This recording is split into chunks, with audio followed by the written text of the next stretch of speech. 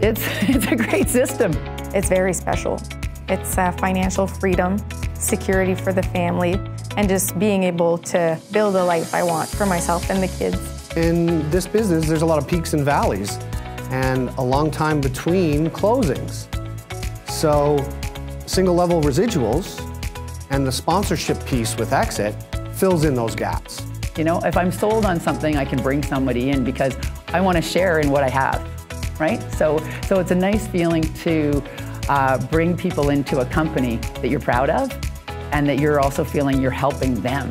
The exit formula is like nothing else in there.